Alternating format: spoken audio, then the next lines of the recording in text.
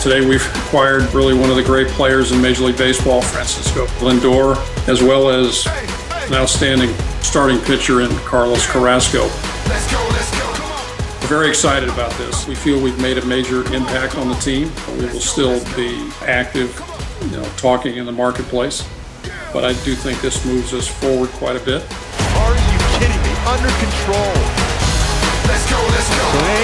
Swing miss. He struck him out. An exciting day, you know, to add two players of uh, Lindor and Carrasco's ability, uh, level, winning pedigree. This drops in. Lindor, bare hand throw to first, and he got him. What a play! Anytime a player brings an extra dimension in terms of personality, in terms of how they present themselves, how the fans will react to that player, I think that all has to be taken into account. And he's obviously done lots of things over his young life, and you know we expect that he'll continue to do them in New York.